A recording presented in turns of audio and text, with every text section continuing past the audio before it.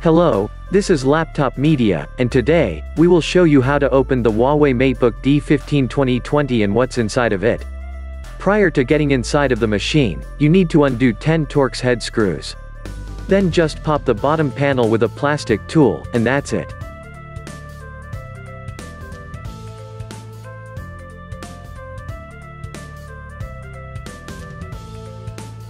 Please remember, it would be of great help to us if you just hit the like button and subscribe to our channel. That would motivate us to make even more and better videos for you. The cooling design here is very reminiscent of the one on the 14-inch version of the model. There is a rather long heat pipe, attached to a decent heat sink and a pretty beefy fan in terms of diameter. Here, we see two storage options.